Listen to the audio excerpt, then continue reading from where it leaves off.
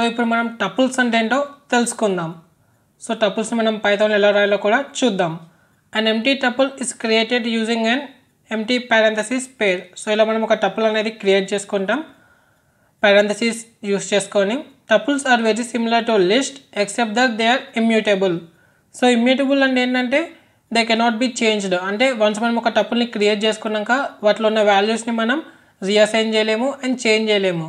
Also they are created using parenthesis rather than square brackets so మనం list అయితేనేమో square బ్రాకెట్తో create చేస్తాం. So టప్పులు కాబట్టి మనం పారాంథసిస్తో క్రియేట్ చేస్తాం. సో ఇప్పుడైతే మనం ఒక ఎంటీ టపుల్ని అయితే ఫస్ట్ క్రియేట్ చేద్దాం. సో అదే నేను ఇక్కడ కమెంట్లో అయితే రాస్తున్నా. క్రియేటింగ్ అండ్ ఎంటీ టపుల్ అని.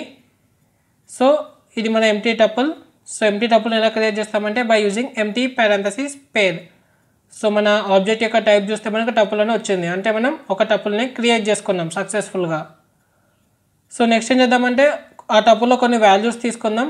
సో నేను టీ అని చెప్పి తీసుకుంటున్నా. T equals to parenthesis one comma two comma three. So ఇది మన టపుల్ సో దీన్ని ప్రింట్ చేసుకుందాం. Print print T.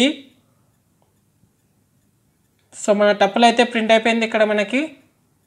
So next ఏం చేద్దామంటే ఇండెక్సింగ్ చేద్దాం. సో ఇండెక్సింగ్ ఎలా చేస్తామంటే లిస్ట్లో ఎలా చేస్తామో ఇక్కడ కూడా అంతే. సో జీరో ఇండెక్స్ అంటే మన ఫస్ట్ ఎలిమెంట్ సో అదే వచ్చింది. నెక్స్ట్ ఏం చేద్దామంటే మనం అన్ని ఎలిమెంట్స్ తీసుకుందాం. సో అన్ని ఎలిమెంట్స్ తీసుకోవాలంటే మనము జస్ట్ కాలం యూస్ చేస్తే సరిపోద్ది. మన start index stop index mention చేయకపోతే మన టపుల్లో ఉన్న అన్ని ఎలిమెంట్స్ కూడా మనకు వచ్చేస్తాయి. అదే లాస్ట్ ఎలిమెంట్ తీసుకోవాలంటే మనం నెగిటివ్ ఇండెక్సింగ్ యూస్ చేయొచ్చు. సో ఇక్కడ నేను అదే చేసిన టీ ఆఫ్ మైనస్ వన్ అని. సో మన లాస్ట్ ఎలిమెంట్ త్రీ కాబట్టి అదే వచ్చింది. సో టపుల్స్ అనేవి ఇమ్యూటబుల్ సో ఈ పాయింట్ మనకి ఇంపార్టెంట్ సో ఇమ్యూటబుల్ అంటే వన్స్ మనం ఒక టపుల్ని క్రియేట్ చేసినాక దాన్ని మనం చేంజ్ చేయలేము. సో ఇక్కడ నేను T of one equal to six అని చెప్పి రీఅసైన్ చేస్తున్నా. అంటే మన ఇండెక్స్ వన్ ఉంది కదా. ఇండెక్స్ వన్లో ఏముంది? మనకు వాల్యూ టూ ఉంది. సో ఆ టూ బదులు నేను సిక్స్ అని చెప్పి రీఅసైన్ చేస్తున్నా. సో అలా చేస్తున్న కెరర్ వచ్చింది. Tuple object does not support item assignment అని. అంటే మనం వాటికి యొక్క వాల్యూస్ని మనం రీఅసైన్ చేయలేము. సో ఇనిషియల్గా వాటిని మనం ఎలా క్రియేట్ చేసుకున్నామో అలానే ఉంచుకుంటాం. సో మనకు మల్టిప్లికేషన్ చేయొచ్చు. మల్టిప్లికేషన్ ఆపరేషన్ టపుల్ మీద. సో టీ ఇంటూ టూ చేస్తే మన టపుల్ అనేది టూ టైమ్స్ వచ్చింది. One comma two comma three one comma two comma three అంతేగాని అడిషన్ ఆపరేషన్ చేయలేము మన టపుల్లో. ఎందుకంటే మన టపుల్ చేంజ్ అయిపోద్ది కాబట్టి. సో నెక్స్ట్ మనం సెట్స్ అంటే ఏంటో డిస్కస్ చేద్దాం. Sets are an unordered collection of unique elements we can construct them by using the set function so సెట్లో మనం తీసుకున్న ఎలిమెంట్స్ అన్నీ కూడా యూనిక్ ఎలిమెంట్స్ ఒకవేళ మనం సెట్లో రిపీటెడ్ ఎలిమెంట్స్ తీసుకున్నా కూడా ఫైనల్గా మన సెట్లో అన్నీ కూడా యూనిక్ ఎలిమెంట్స్ ఉంటాయి. అంటే అన్నీ కూడా ఒకటేసారి వస్తాయి అన్నట్టు ఆ ఎలిమెంట్స్ రిపీట్ అనేవి వెళ్ళిపోతాయి. They are created using curly braces or the set function so మనం సెట్స్ని ఎలా క్రియేట్ చేస్తామంటే పైథాన్లో అయితే మనం కర్లీ బ్రేసెస్తో క్రియేట్ చేయొచ్చు ఆర్ ఎల్స్ మనం సెట్ ఫంక్షన్తో కూడా క్రియేట్ చేయొచ్చు. They share some functionality with list such as the use of in to check whether they contain a particular item so లిస్ట్లో మనము ఒక ఐటమ్ ఉందా లేదని చెప్పి ఎలా చెక్ చేస్తామో సేమ్ సెట్లో కూడా అలా చెక్ చేసుకోవచ్చు by using in method so first మనం ఒక సెట్ని క్రియేట్ చేద్దాం. Creating a set so by using set function మనం క్రియేట్ చేద్దాం. So S equal to set so ఈ ఫంక్షన్ కాల్ చేసినాం కదా సో మన సెట్ అయితే క్రియేట్ అయిపోయింది.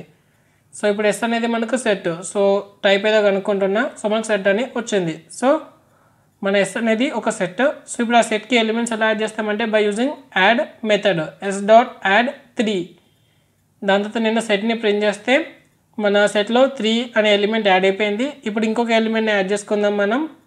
సో ఇప్పుడు నేను ఫైవ్ యాడ్ చేస్తున్నా. S dot add of five దాని నేను సెట్ని ప్రింట్ చేస్తే మన సెట్లో త్రీ ఇంకా ఫైవ్ అయితే యాడ్ అయిపోయినాయి.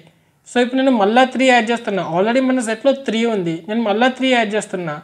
మన సెట్లో ఉండే ఎలిమెంట్స్ అన్నీ కూడా యూనిక్ ఎలిమెంట్స్. అంటే అన్నీ కూడా ఒకటేసారి వస్తాయి.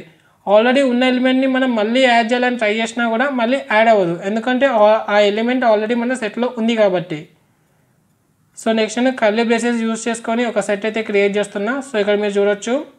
నేను ఫైవ్ని రిపీట్ చేసిన చాలాసార్లు సో ఫైనల్గా మన సెట్ని ప్రింట్ చేస్తే ఫైవ్ ఓన్లీ ఒకటేసారి వస్తుంది.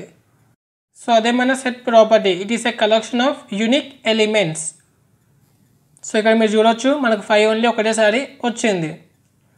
సో నెక్స్ట్ మనం ఏం చేద్దామంటే ఒక లిస్ట్ని సెట్ లాగా ఎలా కన్వర్ట్ చేయాలో చూద్దాం. సో ఎలా కన్వర్ట్ చేస్తామంటే మన సెట్ ఫంక్షన్ ఉంది కదా అది మన లిస్ట్ మీద కాల్ చేస్తే సరిపోద్ది. సో ఫస్ట్ అయితే ఒక లిస్ట్ని మనం క్రియేట్ చేసుకుందాం. సో ఇక్కడ నేను ఒక లిస్ట్ అయితే క్రియేట్ చేస్తున్నా. LST equals to square brackets one comma two comma three three three three three four comma five comma six comma seventy seven so ఇది మన లిస్ట్. ఇప్పుడు మన లిస్ట్ని మనం సెట్ లాగా కన్వర్ట్ చేద్దాం. ఎలా అంటే by using set function set of LST so మీరు చూడొచ్చు. ఇది మన సెట్ సో సెట్లో అన్ని ఎలిమెంట్స్ కూడా ఒకటేసారి వస్తాయి. రిపీటెడ్ ఎలిమెంట్స్ ఉండవు. సో నెక్స్ట్ ఏం చేద్దామంటే మనము లైక్ ఒక ఎలిమెంట్ సెట్లో ఉందా లేదని చెప్పి చెక్ చేద్దాం. సో అది ఎలా అంటే బై యూజింగ్ ఇన్ ఇంకా not in if three in K already మనం కే అనే సెట్ పైన క్రియేట్ చేసుకున్నాం.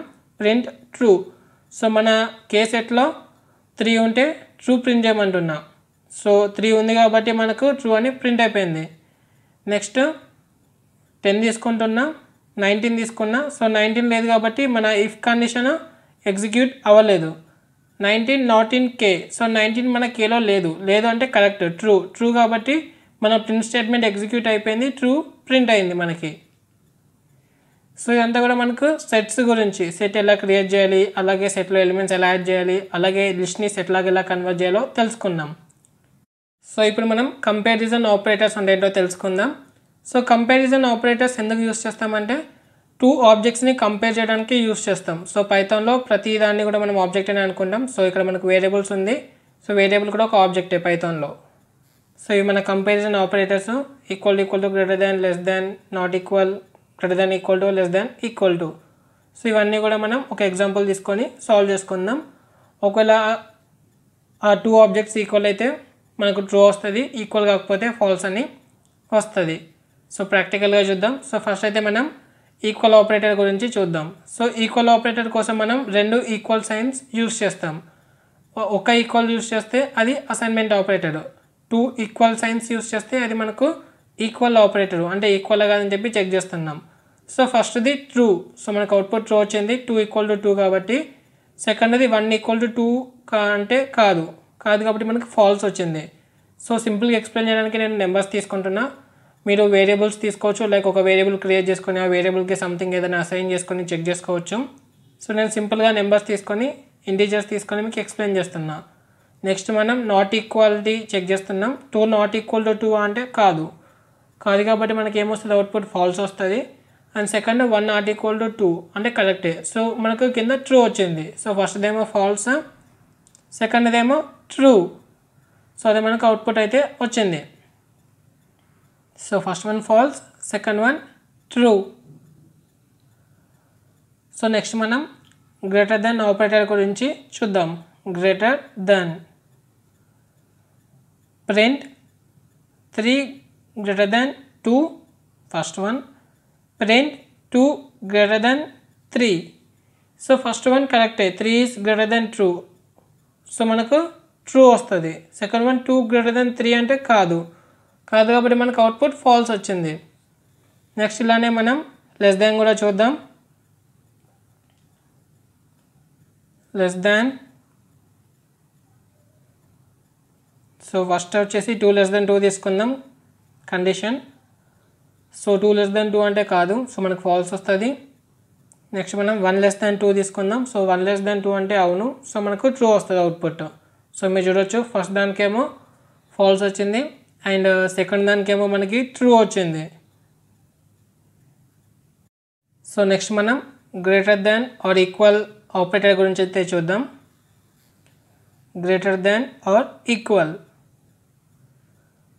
so first మనం print two greater than or equal to one greater than or equal to two so ఫస్ట్ది ట్రూవే సెకండ్ది ఫాల్స్ సో అదే మనకి అవుట్పుట్ అయితే వచ్చింది సో నెక్స్ట్ మనం less than or equal to చూద్దాం less than or equal to less than or equal to less than or equal or equal so first time తీసుకుందామంటే three greater than or equal to two greater than or equal to three so first one వచ్చేసి two less than or equal to three so కరెక్టే కరెక్టే కాబట్టి మనకు true వచ్చింది. And second one ఏమో three less then or equal to two so three less then or equal to two అంటే కాదు. కాదు కాబట్టి ఫాల్స్ వచ్చింది మనకు. సో ఇది బేసికల్గా మనకు కంపారిజన్ ఆపరేటర్స్ గురించి సో ఇవన్నీ కూడా మనం డిస్కస్ చేసుకున్నాం. కంపారిజన్ ఆపరేటర్లో అలాగే సెట్స్ అంటే ఏంటో తెలుసుకున్నాం. అండ్ టపుల్స్ uh, అంటే ఏంటో కూడా తెలుసుకున్నాం. సో నెక్స్ట్ మనం ఇఫ్ స్టేట్మెంట్స్ ఎలా రాయాలో చూద్దాం. మీకు కానీ వీడియో నచ్చినట్టయితే లైక్ చేయండి షేర్ చేయండి. అలాగే మన ఛానల్ని కూడా సబ్స్క్రైబ్ చేసుకోండి. Thank you for watching keep learning